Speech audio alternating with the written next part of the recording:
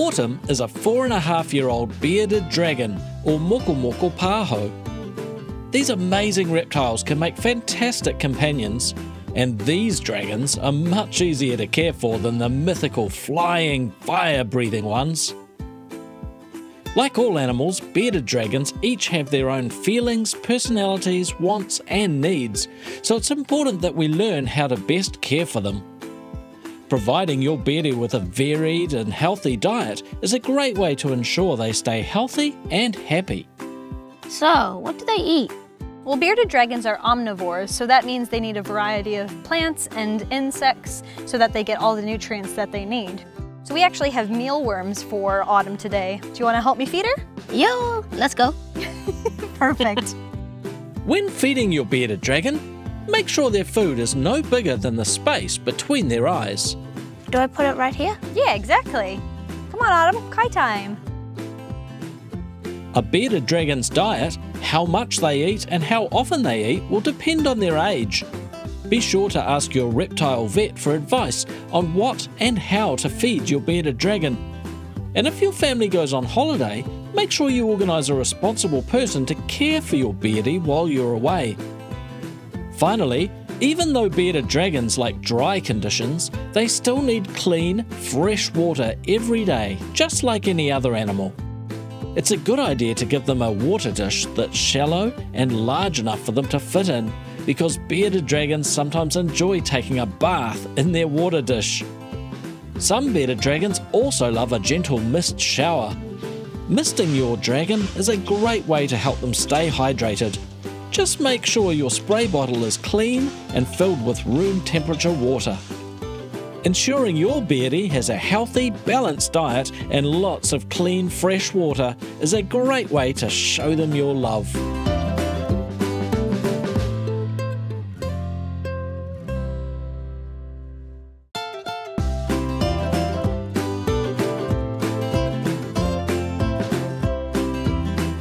This lovely warm enclosure is home to a bearded dragon named Tu.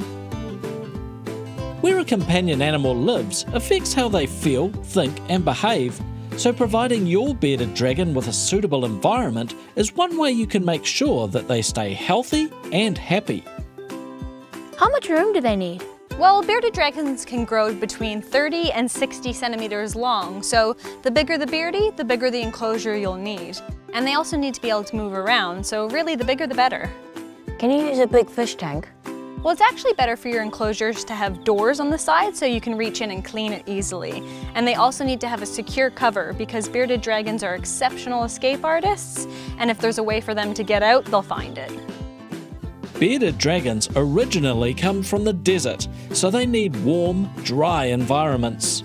To keep the temperature nice and warm, it's best to use a heat lamp.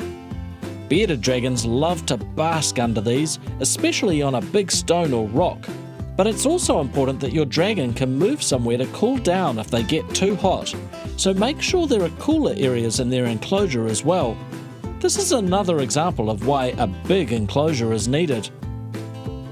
Do you need to have some sort of special light? Yeah, so they have a heat lamp that keeps them warm and then a UV light tube that gives off ultraviolet light and they absorb it through their skin and it helps to keep them healthy. Does it stay on the whole time?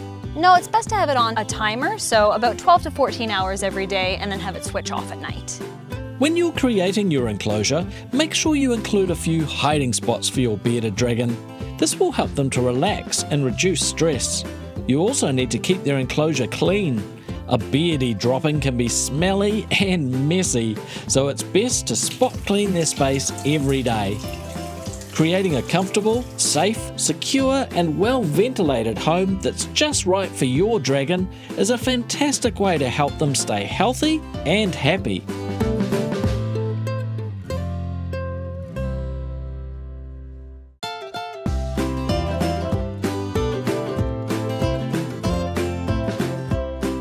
Bearded dragons like Tu and Autumn here can make fantastic companions.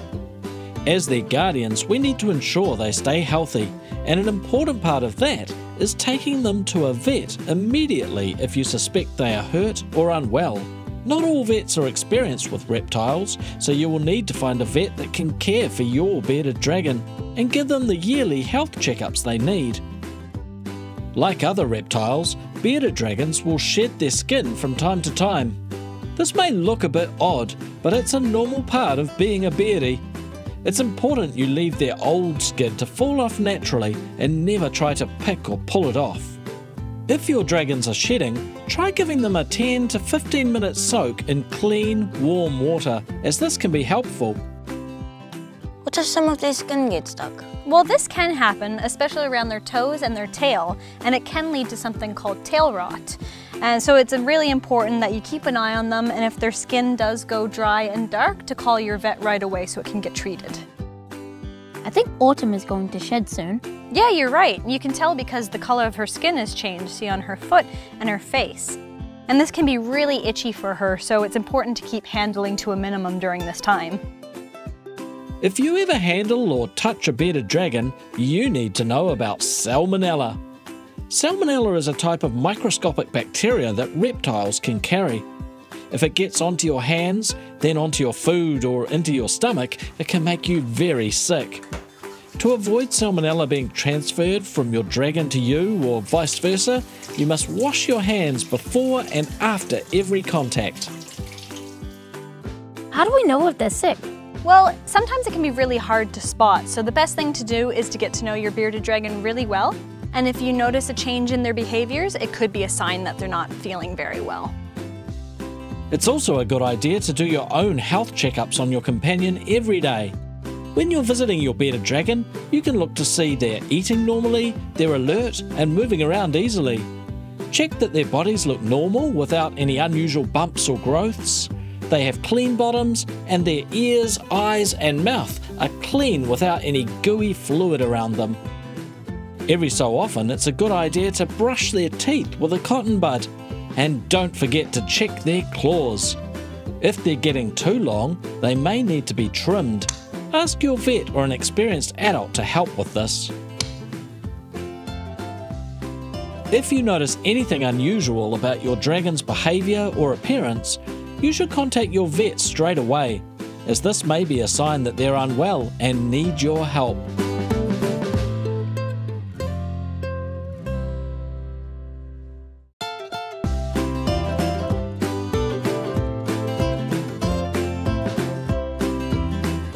Tu, and autumn, are moko moko paho, or bearded dragons.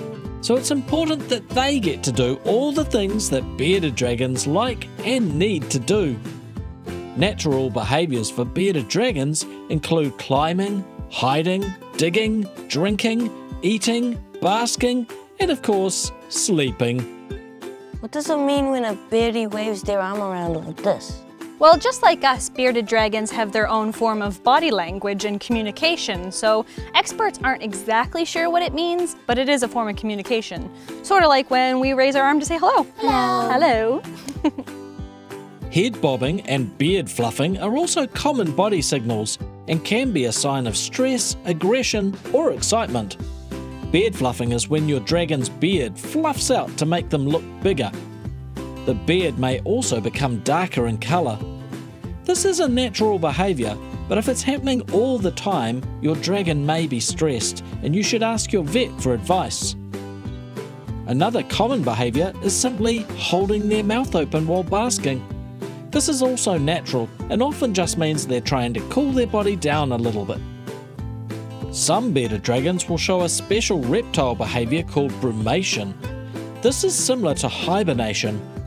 If you notice your bearded dragon becoming less active, eating less, and toileting less, you need to first make sure that they're healthy, and then if they are, get some advice about brumation. Is it okay to take them out of their enclosure like this? Yeah, absolutely. Bearded dragons need exercise just like us so that they stay healthy. But it's really important that we keep them in a secure area like this so that they're safe and they can be supervised. Do they run around sometimes? Yeah, they can, and they can be surprisingly fast, and that's why it's important to have them in a safe area so they don't run under anything where you can't get to them. They also really enjoy swimming too, so you can put them in the bath with some clean water. Just make sure you don't overdo it because they can also get tired just like us. Mm-hmm. Ensuring your bearded dragons get to express their natural behaviours is an awesome way to make sure they stay healthy and happy.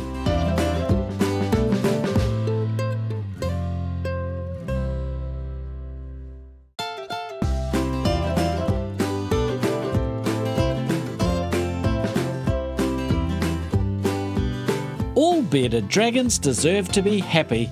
Loving your bearded dragon and learning to understand their needs will help you to prevent your dragon from feeling bored, frightened, or stressed. It's especially important to learn how to handle your dragon correctly. Bad handling can be very stressful. Bearded dragons do not like to be surprised, so make sure they see your hand coming when you go to pick them up. Never grab your bearded dragon suddenly, squeeze them, or hold them in high places. It's best to support their whole body, including their tail, and to get an adult to help you. Would it be okay for Autumn and Tu to live together?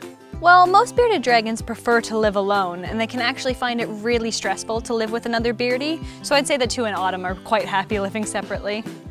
So can you only take care of one bearded dragon? Well, you could take care of more, but they would need their own separate enclosures.